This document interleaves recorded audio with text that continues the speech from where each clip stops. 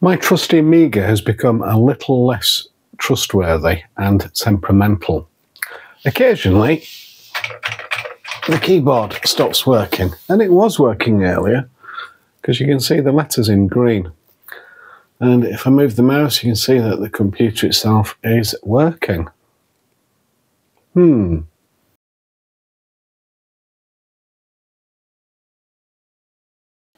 Before I get started with the fun stuff, I would just like to thank my channel sponsor, PCBWay. As the name would suggest, they do do PCBs, and you can order them like this blank, or you can have them populate them for you. With order values from as little as $5 and fast shipping and fast turnaround, they make a great choice. But PCBWay, they also do 3D printing, as I had this case made up and they also do CNC machining.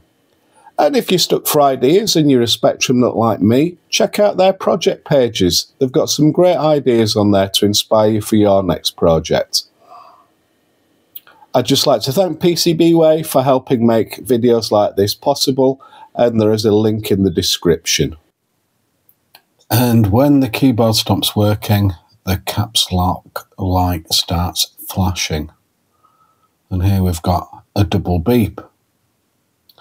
And if you Google this, you will find this, which suggests that there is a problem with the RAM on the keyboard. So being me, I dashed straight into eBay and bought myself a replacement. Now, when it comes to RAM on the machine, RAM on the machine. This isn't a machine, is it? When it comes to the RAM on the keyboard motherboard, then I don't know where it is. We've got a couple of LEDs, we've got the keyboard connector itself, we've got the ribbon cable that goes back to the Amiga, we've got a few ceramic capacitors, we've got some more uh, capacitors there. Uh, we've got a couple what looks like to be logic chips, uh, possibly a timer chip there, possibly, and the proprietary Amiga chip. But I don't see any RAM. Now, it's it's quite feasible, I suppose, that the the RAM is inside the is it the BIOS? That one sort of like custom chip that does everything, the controller, the RAM. I don't know. I don't know. Perhaps you can let me know in the comments if uh, if you know.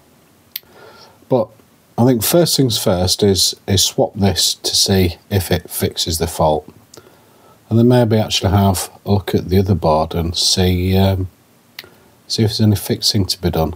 But if it's RAM, I don't know because I can't see any.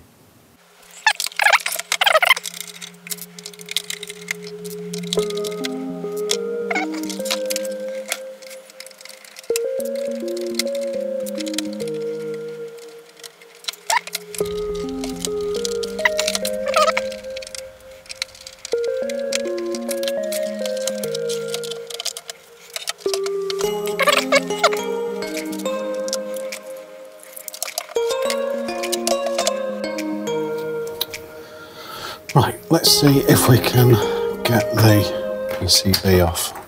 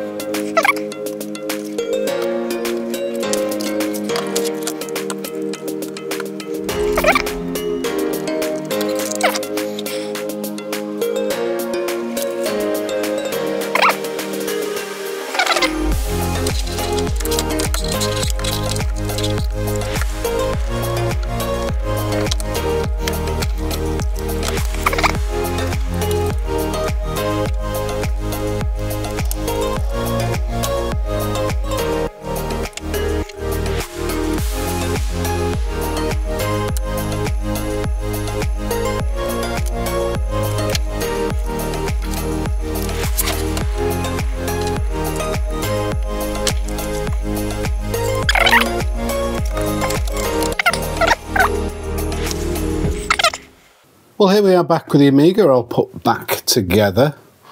Uh, the good news is we have no blinking caps lock light. So, if we go with F2,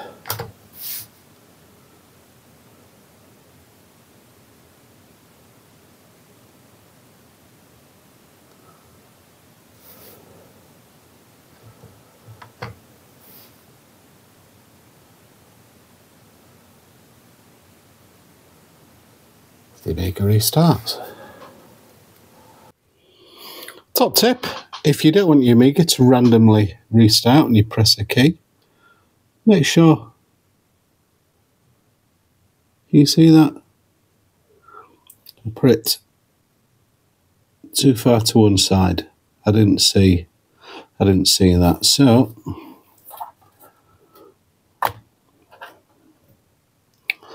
let's do it properly this time.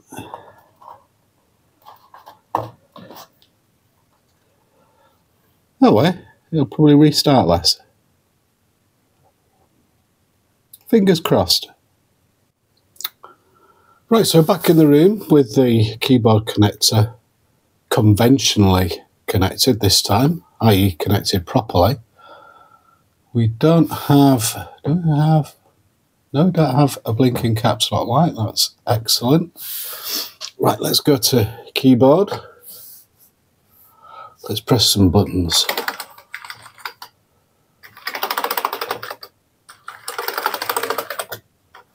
I should have been a typist.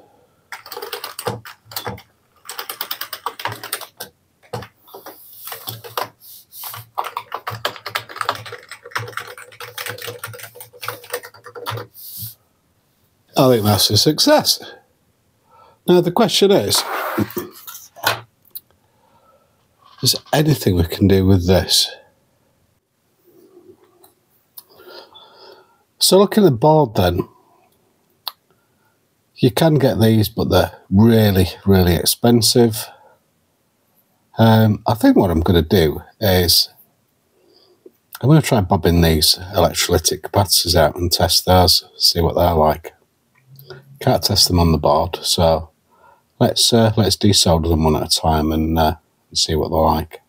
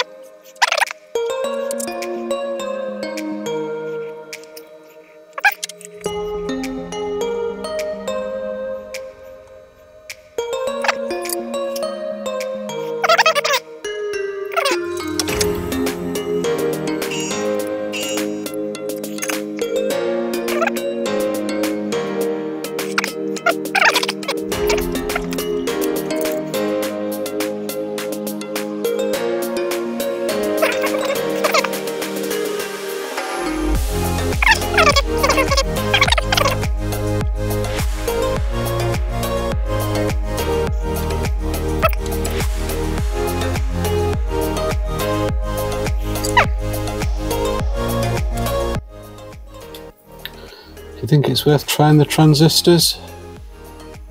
I think they're either going to work or not, these, aren't they? No, no. Oh, let's give them a whirl. Let's put the transistors off, see, uh, see if that does anything.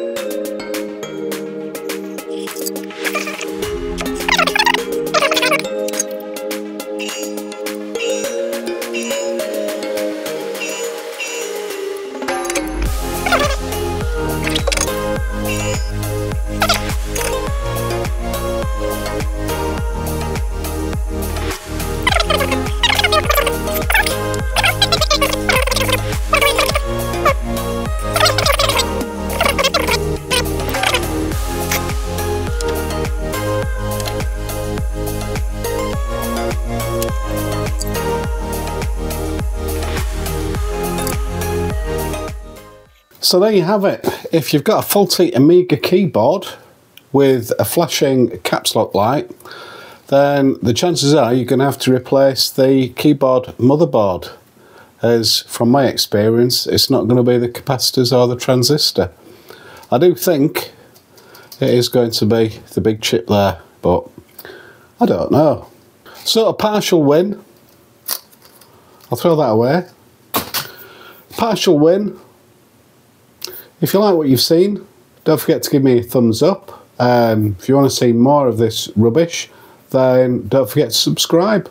In the meantime, I wish you well, and hopefully I will see you again soon.